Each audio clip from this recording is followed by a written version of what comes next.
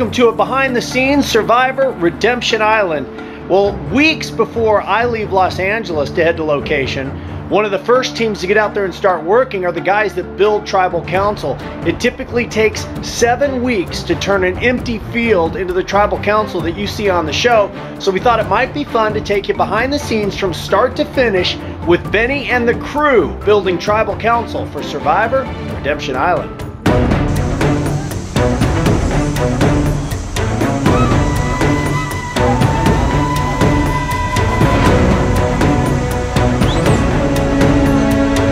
Layout. So the vote booth, the vote booth is going to be out over the edge of this headland and it's going to be about four metres off the ground for the floor level. So it's going to be pretty high up. What we've got set up so far is uh, this line up here. It's going to be the floor level to give the big pyramid effect, big pyramid side effect. Benny's got a crew of 18 guys who do the bulk of the construction, but once you add in the teams that decorate the set, help build the fires, and sit in on rehearsals, it takes more than 100 crew members to get Tribal Council ready. So a week since you've been here, so since then we've constructed the floor, we've got our base floor, we've finished the entrance, we've got our entrance stairs, uh, just for the main walk-in. We're moving on to the roof. Uh, this is the first layer of the roof. It's going to be a two-tier roof, similar to the vote, uh, similar to the vote roof we've done out there. So it's, uh, it's going to end up quite tall. That's the walk to vote bridge. is still under construction. It's not quite finished yet.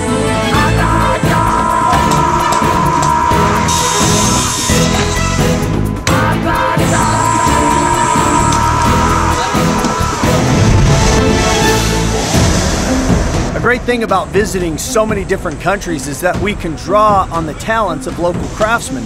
This season, we've hired local experts in the traditional Nicaraguan style of thatched roof who are going to ensure that in four weeks, we have a dry set. So today, uh, we're just about finished on our roof. We're putting the last of the thatch on the roof. That's just getting finished off. So at the same time, we're also uh, just finishing off the stonework. We had our plywood walls, now uh, covering in cement and getting turned into Mayan stone, ancient Indian style.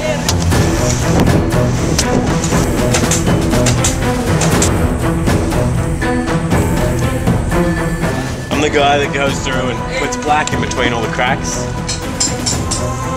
It's my life. This is who I am.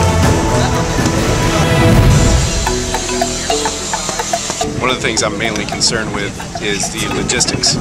So today we're out here scouting the new tribal for season 22, trying to figure out where our walk-ins will be, where our walkouts will be. I think those rocks look good. Come down in between those rocks. yeah, just go a little bit windy. Look at get Ben to mark it out. So pretty much straight on here, Benny, to here, and then just a slow wind into those rocks and then up into the messes path. Okay. And we just figured out the path for the walk-in. Done.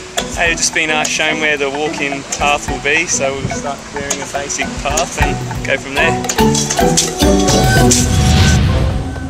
So we've got 10 days left. We're, uh, we're moving ahead pretty fast now. We've got the lighting crew moving in, we're getting the lights moving in, we've got our set decorating crew. They're starting to move in with some props.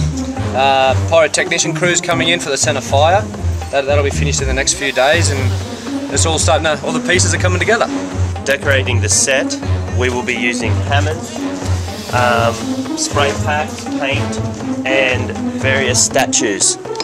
Statue, bro?